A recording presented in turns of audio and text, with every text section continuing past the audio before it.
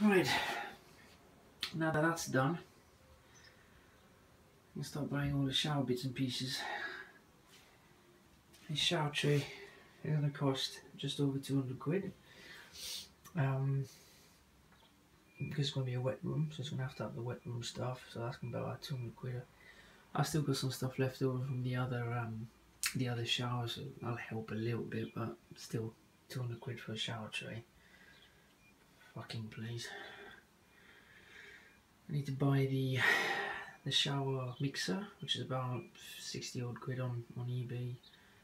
The last the one I used in the other bathroom is really good, so I'll stick with them. Some more pipe work then to go up to the top, and the shower to come out the top there somewhere. Shower head costs 99 pounds.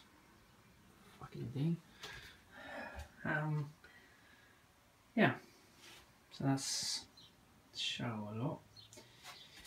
Thank God already bought all the toilets and stuff, so today we take this thing out.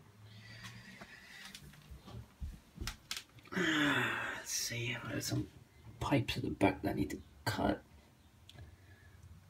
Turn everything off of that down there and take this thing off.